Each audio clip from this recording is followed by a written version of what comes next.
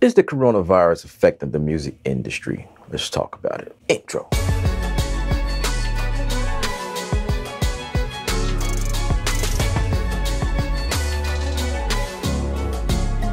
What's up, creative faces? On set from Kreatve Sound. Let's talk about this coronavirus, this thing that's going viral, right, around the country, and everybody is is, is talking about it.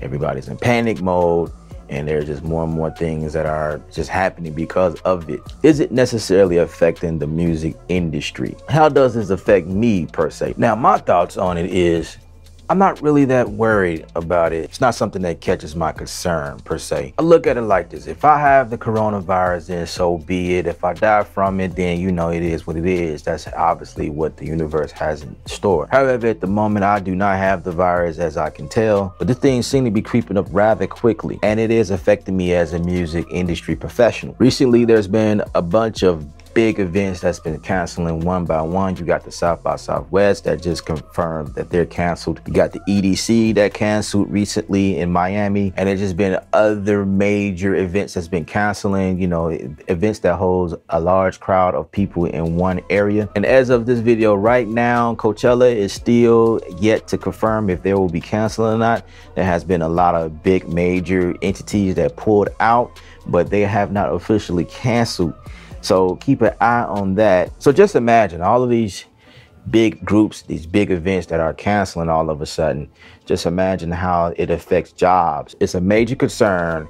Just imagine how many people lost money due to this event. Austin, Texas already de declared this as the state of disaster or the state of the emergency. I would think that if something was declared on that level, that will involve you getting a refund for any events that you like already booked, booked the flight for, you booked the hotel, you got things planned, and then now it's canceled because of this virus. I'm not really sure about how all that works. I just know that a lot of people are really upset because they lost money.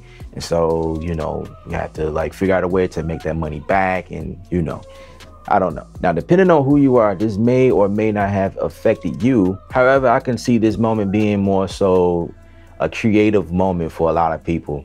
You know, now that you're not going to the South by South or you, you, you probably was on your way to Coachella, although they didn't cancel yet, but a lot of people has already made up their mind that they are not going due to this virus breakout. So I can only imagine that YouTube will climb even higher because now people are at home and you have more time to, to be more creative. A lot of people are going crazy, hitting up the supermarkets and stashing up on on items just in case this is something bigger than what it really is. So I would imagine a lot of Facebook Live, Instagram Live, YouTube videos live, on YouTube as well. I will be going live as well, posting more videos. Definitely want to boost your immune system and making sure you stay up on fruits and eating clean and purchasing natural herbs that helps your body stay strong. They're saying that this virus is attacking more so the elderly people the people who immune support is not that great and dealing with medical issues. So they are more vulnerable to to this virus so to speak. But anyway it's just a good idea to just get in the practice of staying clean. You know what i mean? Uh, wash your hands. Don't don't put your hands in your face. That type of thing. Keep hand sanitizer next to you. They say it needs to be at least 60 percent alcohol or more. And believe it or not they're starting to say Everyone needs to keep their distance about maybe six feet away from each person. If, if you don't know them, you know, keep keep your distance.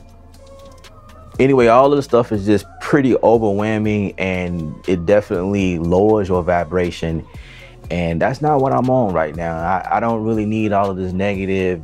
I understand that there's an an emergency going on and it is affecting people and death is involved possibly but at the same time, if if I'm gonna die, I'm gonna die. You know what I'm saying?